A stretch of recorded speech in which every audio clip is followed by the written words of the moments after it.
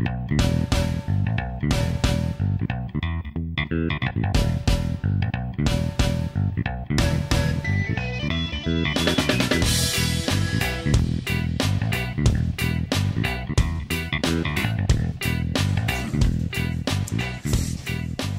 guys, it's Bob Gill from Gil Skillz. Just checking in with you real quick.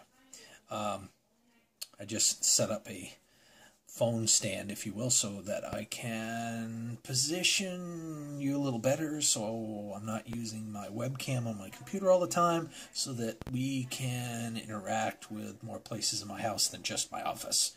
So, I'm going to take you out in the garage and I'm going to show you uh, how to disassemble a uh, hard drive. And then after I'm done showing you how to disassemble hard drive, I'm going to show you a couple of things I plan on using um, the neodymium neodymium magnets uh, for. Um, one of which is going to hold my tools in place, and uh, it's going to involve a glue gun and all that fun stuff. So stay tuned. You guys listening?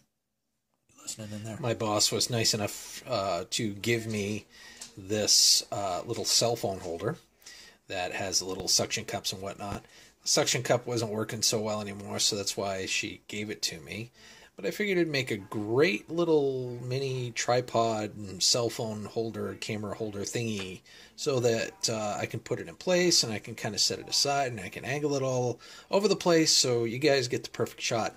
So to make it stick uh, to the platform, basically what I did was I put some um, put some Gorilla Glue all around the cup's edges there. Uh, made sure that it was good and um, good and secure. And uh, I'm giving it some time to actually sit and dry so that it'll stay in place. So when I put the cell phone in, it's not going to go anywhere and it'll be perfectly balanced and I can use it pretty much anywhere I need to. So anyway, a little DIY MacGyver style camera holder thingy action going on there. All right, guys. So here we have our hard drive. And it's an older hard drive. I took the liberty of finding all the hidden screws and whatnot. Um, so it's pretty straightforward. The first thing I'm going to want to take off is the logic board because uh, scrapyards do take these. It's a high quality board and they do pay at a premium per pound for these. So uh, that's what I'm going to start with here.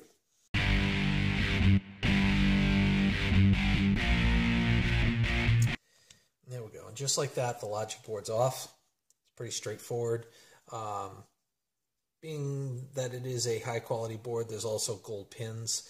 I don't know if you can see that, but there's gold pins uh, that you can retrieve gold from. But uh, I just find it easier to uh, bring these to the scrapyard, and they pay by the pound, and it's uh, a quick payday.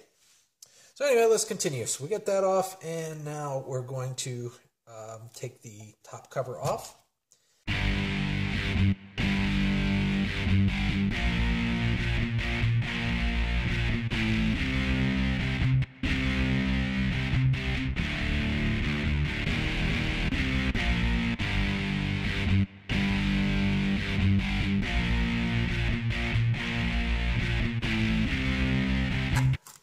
There we go. Okay, beautiful. Ooh, Viola.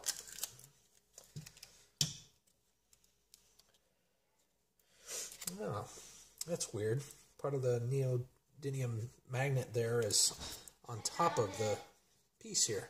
So there's a couple of things in here. Uh, this this pin here, this data pin, is uh, has some gold bearing components on it. Uh, it's got some aluminum. It's got some copper.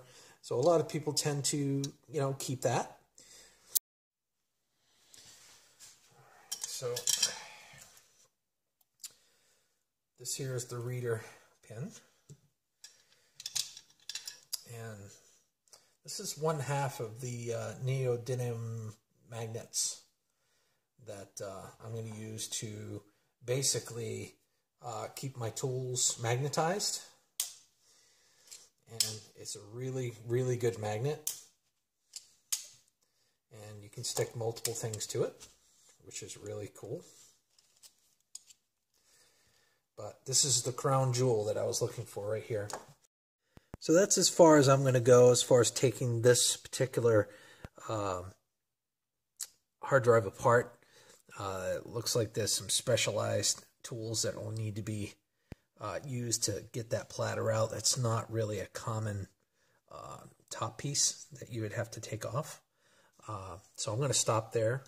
But really, truly, the uh, crown jewel was the neodymium magnets. And I, unfortunately, I'm not going to glue it to my desk, which is what I was originally going to do because the glue gun crapped out on me. So uh, that, unfortunately, is not going to happen. But uh, just to show you, there's a few, here's a few others that I have. Oh, see what I mean? These are powerful magnets. But uh, I got these from other hard drives as well. Um, very, very powerful. And if you stick them to stuff, you can magnetize, you know, your, uh, you can you can magnetize all sorts of stuff. You can magnetize your screwdrivers, whatever you want to magnetize. Uh, make life a lot easier for you. But anyway, um, I just wanted to show you how to do this, and here it is. And I hope that it was educational. Hold it! Don't go anywhere! Like, comment, and subscribe. Please, if you don't mind. It would greatly help my channel. And I'd really love to continue giving content to you such as this. Please let me know what you'd like to see on the channel. Have a great day.